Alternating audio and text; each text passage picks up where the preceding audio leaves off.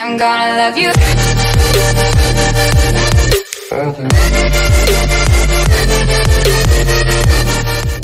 What's going on guys? Um, I'm starting another project. Uh, it's just real rough draft right now. Uh, but it's going to be a drawing. Um, it's going to be, I've seen them before. Uh, crying eyes, like rainbow colors and stuff. So I wanted to do something like that. So I went ahead and uh, freehanded out um, first stage of it. It's very rough, so you know, don't judge too harsh. But uh, yeah, I'll show you what it looks like so far. Alright guys. This is what it looks like so far. But like I said, very, very rough draft. I just sketched this out in about, I don't know, 10 minutes. So it's still got to be refined and, you know, I've still got to work on the tears more and I've got to work on the eyes a lot more. Um, I'm going to get started um, filling in detail. Right, here we go. And I'm just going to do a little here. Uh, I'm going to start outlining the iris and the pupil and stuff and uh, eyelashes. Um, and uh, yeah, I'll let you see a little bit of what I'm doing here.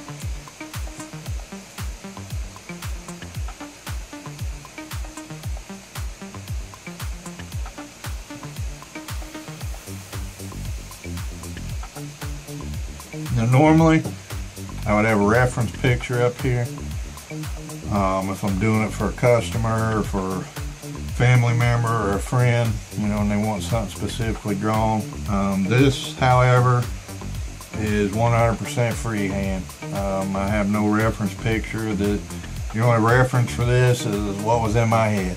You know, I did get the idea originally uh, from the internet.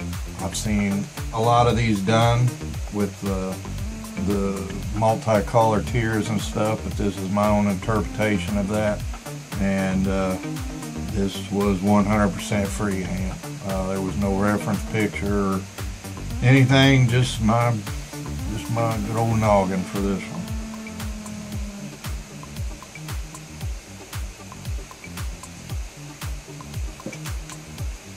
And as you can see, one of our cats, uh, Gremlin, has come to pay me a visit. And uh, here, I'll let you see her. Come here, Gina. Oh, and this is my baby. This is a Gremlin here. I've had her ever since she was, well, she fit in my hand. She was actually a rescue. She was born outside. And I tell you, this cat has bonded with me. Uh, when she was a kitten, she was sleeping the crook of my neck. You know, needless to say, this cat means a lot to me. And when the day comes that she ever passes, it's gonna crush me. I'll just be honest with you. I'm gonna put you down, baby girl. Daddy gotta get some work done here, okay? Alright, let's get back to this drawing here.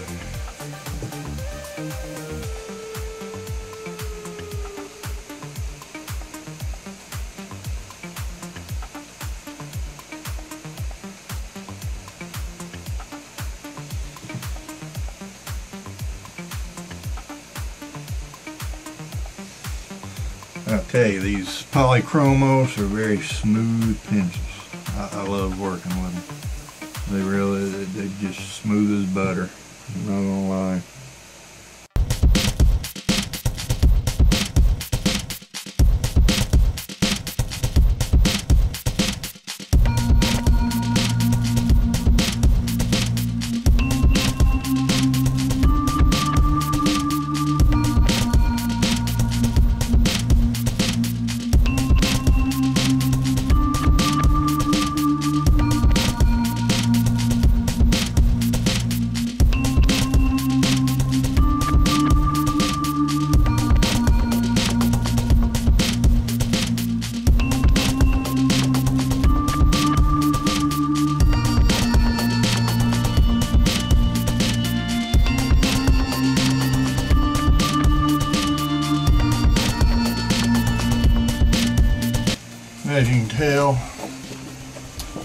Trying to leave a little bit of shadow and light so it's even in the the iris pupil.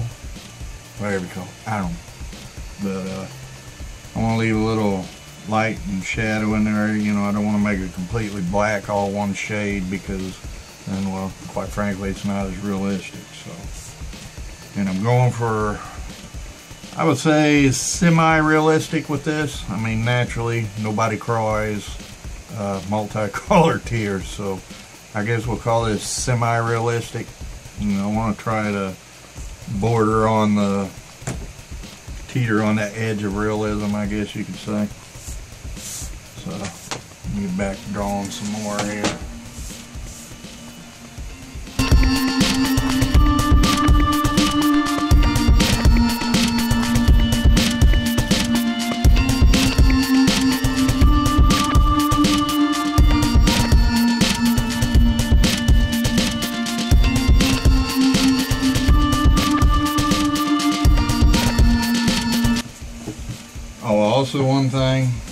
Need to be cautious with, um, I didn't tell you about.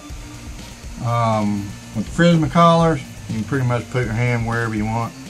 With these polychromos, with them being a white or a uh, oil core pencil, you do need to be cautious of where you lay your hand or you will drag the oils into other pieces of your artwork and uh, yeah, you, you're not going to get a desirable result. So uh, depending on how steady I think my hands are. With this, you know, as you can see, I've got plenty of areas in here, you know, all around where I can kind of place my hand without actually getting into the artwork itself. So I may not uh, break out any wax paper or tracer paper or anything on this one, but uh, working with these, if you're going to be on your artwork, you may want to put down some tracer paper or something or some wax paper so that you don't smudge up your artwork or drag the oil core into, into undesirable places, so to speak.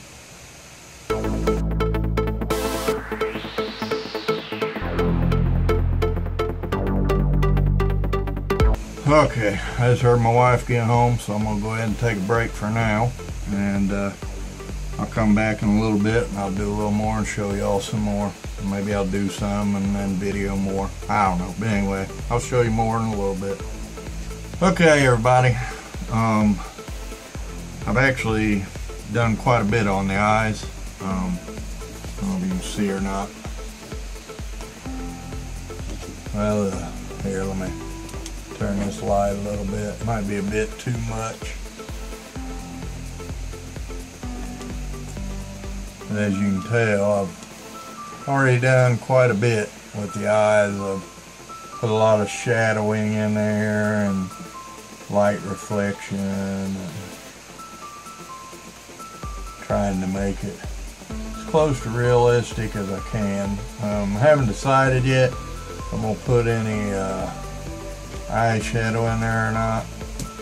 My wife brought up a good point. She said that I would have had to put the eyeshadow down, then put the eyelashes over it. But uh, I think I can still put a little color in there, and then I'll go back with the black and accentuate the eyelashes more, and then I might build it all the way up to the eyebrow. Not sure yet. I probably will because you know I'm gonna have the colorful tears down here flowing down, so I probably will. But anyway. Um, I don't know what color to use for. What do you guys think? I've got blue for the pupil or the iris, whatever it is. Oh, not a doctor, so. But, uh,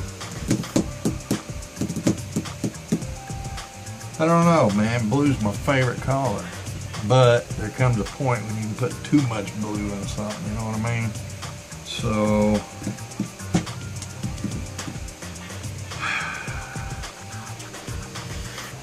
And the, the color that works really well with blue, I don't think is really going to work well for eyeshadow. Um, the, the opposite color of blue on the color wheel is orange. So those two work really, really well together. Uh, they complement each other really well. Um, but like I said, I don't know that orange is gonna. I've never really seen anybody use orange eyeshadow. I mean, I guess maybe they have. I just ain't paying attention. Usually, I see like browns, tans, blues, pinks. I've even seen golds, silvers. I don't guess I've ever really seen orange. I don't know. Let's just figure something out here. Um, actually, hold on. I'll ask my wife real quick. Honey! Honey! Do women use like orange eyeshadow? Oh, prostitutes. I, I was informed that yes they do, but usually it's uh, women of the night that use the orange to kind of like a peacock, I guess, draw attention to themselves. Um, so let me get some more advice from my wife. I'll be right back. Um, hey! Okay, so I want not so much clown look. Well, I'm kind of going to have a clown look with the colorful tears, rainbow tears. So, but something maybe realistic. What's some realistic eyeshadow colors since she has blue eyes? Um, you can do a blue gray. Gray? Oh, blue and gray. Well, now look, I don't put eyeshadow on. How would that work? Yeah. So gray down there, light, like a light gray.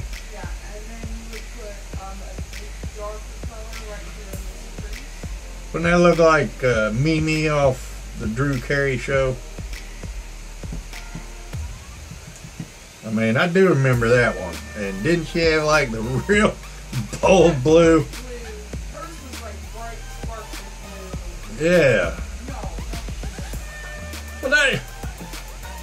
All right, folks. As you can tell, we're having a discussion. I have never put eyeshadow on. I don't. I don't know the first thing about it. Um, how's your video and I'll come she's talking about putting like a light to a dark, like silver to blue. But all I can get in my head is Mimi from like the Drew Carey show. Y'all know who I'm talking about. And it's not really the effect I'm going for, you know. She definitely stood out, but you know, she stood out a bit too much. I'm not going for that effect. So, um, I'll be back. I'm gonna, I'm gonna pause this. I'm gonna go talk to my wife, and uh, we'll. I'll get this figured out. I'll be back, folks. Okay, y'all.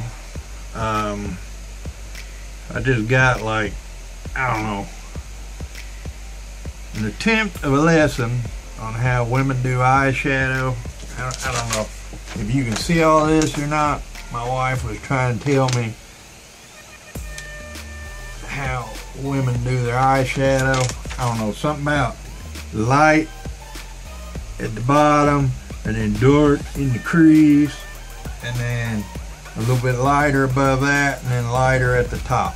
I don't know. Um, and I was informed that since I'm doing rainbow tears here, that I may very well want to go with something orange or reddish up here to kind of, you know, tie it all in together.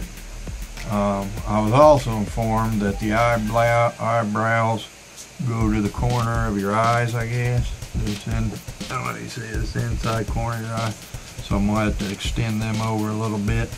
Um, let's go ahead and do that real quick. Give me this, give me this black here. Get it out here. Um, I'm sharpening this a little bit.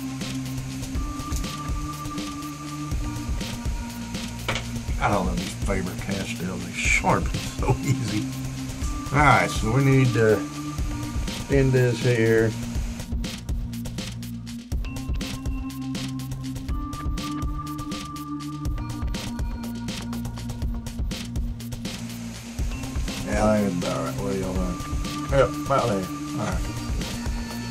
Now, put the black back. Don't need it anymore.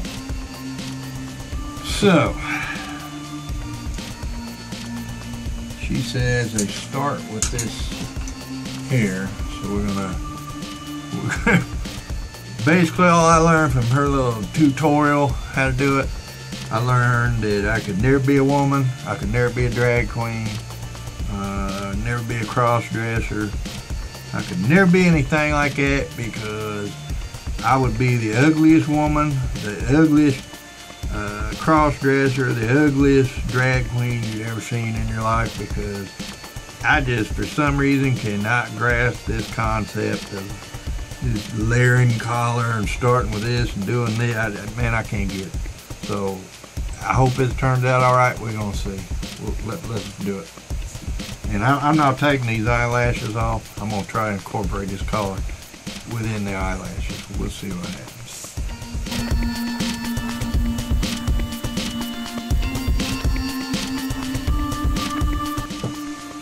I tell you what, eh, eh, all you women that are watching this, I don't know how y'all do it. You guys, you guys really are artists. You know, you may not know it, but you are artists. Doing that, how y'all do that, man, I'm telling you, that's artistic. If nobody's ever told you that, I'm gonna tell you that. That is that is freaking artistic. Y'all good. I'm just gonna tell you, y'all are good.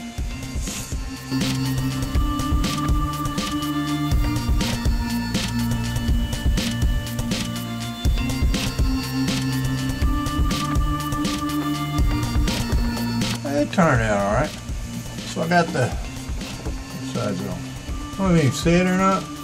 I got like the the, the base collar, whatever you want to call it. Don't. And she said go light, and then increase, go dark, and then a little lighter, and then light at the top. So, but, hey, I tell you what, I think it look all right. Oh, and I'm supposed to inform y'all.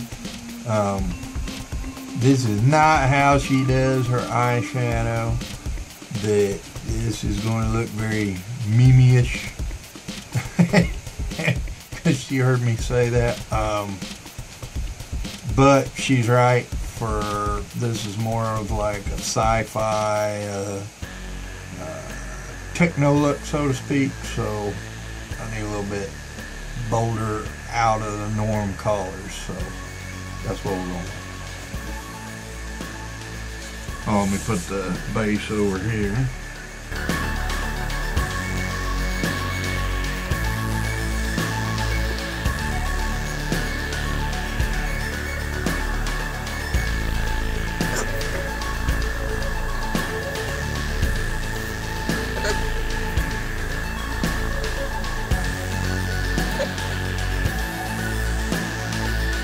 Now, she said darkest color in the crease, which is the crease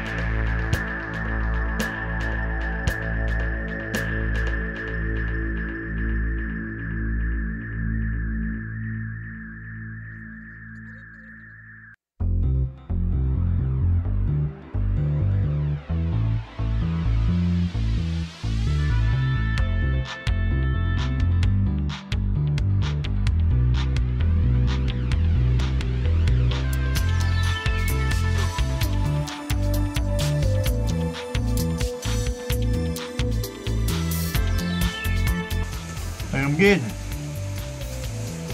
Not really.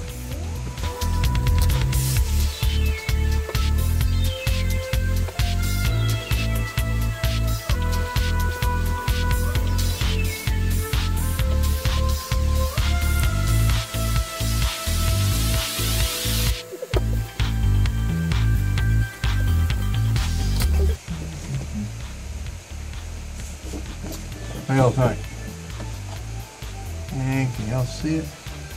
Oh, crap. I don't know. Not that bad, I don't guess. My first time doing eyeshadow. Yeah, hmm, I can live with it. I need to make the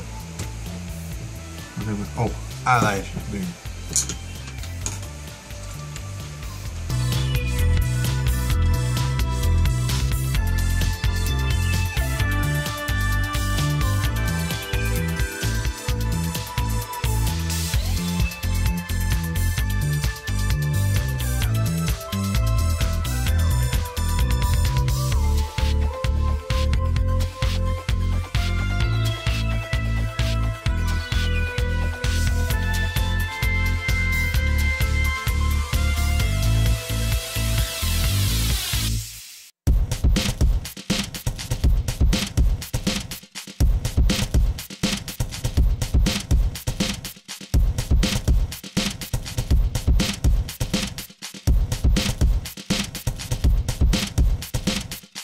Call it?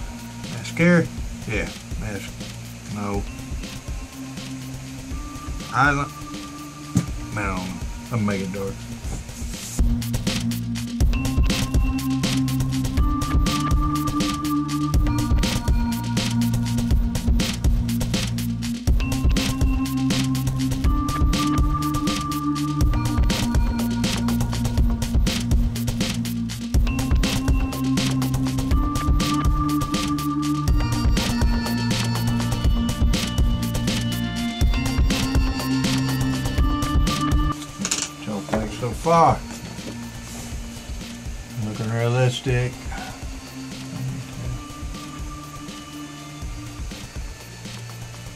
Pretty sure that eyeshadow is not like standard eyeshadow colors, but you know, like my wife said, I'm going for something kind of sci-fi, techno looking, you know. I mean, this this chick's fixing to cry rainbow colored tears. So, you know, since obviously no one cries rainbow colored tears, then gonna, the eyeshadow is gonna be something a little different too. So, anyway. Alright, I'm gonna get off here. I'm gonna figure out how I'm gonna go about doing these tears. Maybe work on the eyes a little bit show my wife the eyeshadow and uh, get my half hour lecture how women don't do that or anyway I'll show you some more detail or more progress in a little bit. Catch y'all in a little bit. Okay got a little more done on it. Um, show you I've started on the the rainbow colored tears. As you can see, I've got the blue and the purple. Um, what I'm doing is going, I'm starting with blue, moving into purple, I'm going into a red, then into an orange, and finishing them off with yellow. And uh, then I'll do the same on the other side. So you can watch me do a little bit of it. I just got done with purple on the, well, if you're looking at you guys, I'm not sure what it'd be. To me, it's the left eye. Anyway, I've got the blue and the purple done there. And I'm to move into the red there.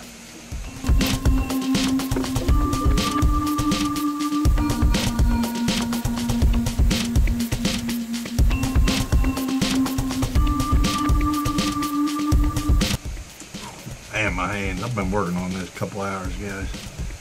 And I'll just tell you, I do have carpal tunnel in both of my wrists, so needless to say, these two fingers right here, as you can see, and right here, and right through here, man, it's smoking hurting right now.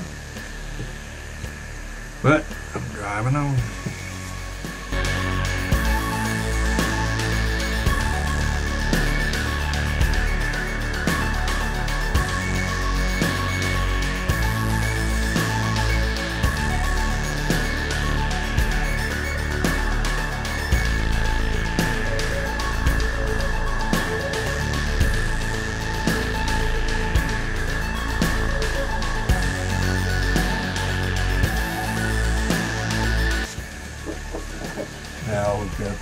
In there. We'll go over to the orange. Whew, man, it's hurt. What a labor of being an artist. Now you know why I do a lot of spray paint. I've actually had a lot of people ask me why I don't do more drawing. You know, um, why I do so many flows and abstracts and spray paint art. Part of it, not all of it, but part of it is this right here, this carpal tunnel. I've been drawing for so long and on the computer and uh, you know whatever, different jobs I've had that, you know, when I'm getting older, I just can't draw like I used to, you know, it, it, it hurts.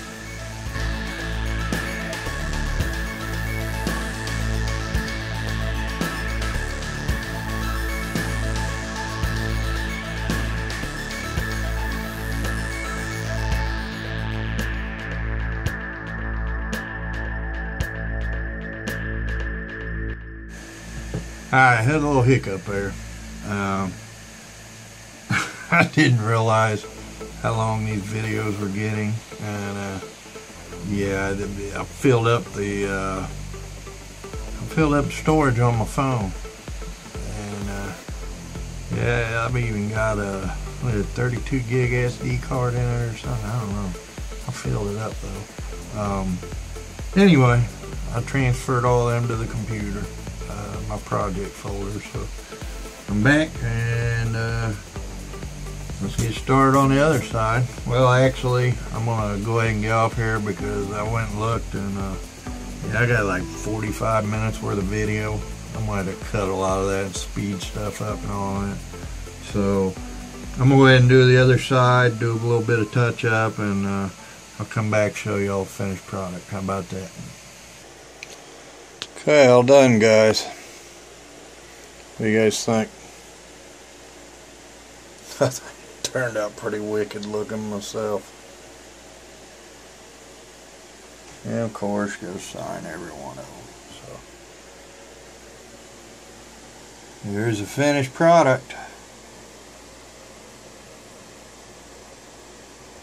The eyeballs there. I'll show you up close there.